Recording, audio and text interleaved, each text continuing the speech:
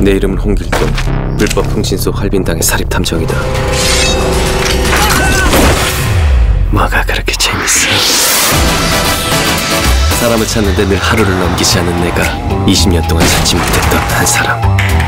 내가 할아버지 찾아줄 수도 있을 것 같은데 우리 할아버지를 누구 잡아간대요 여기 아저씨가 찾겠다는 거야 말겠다는 거야? 왜요? 흡주하려고 그러는 건데 할아버지 영감부터 찾아야 돼. 우리도 같이 가면 안 돼 요? 김병덕이 모든 걸 알고 있어.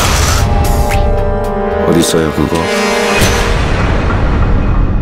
광은회 이거구나.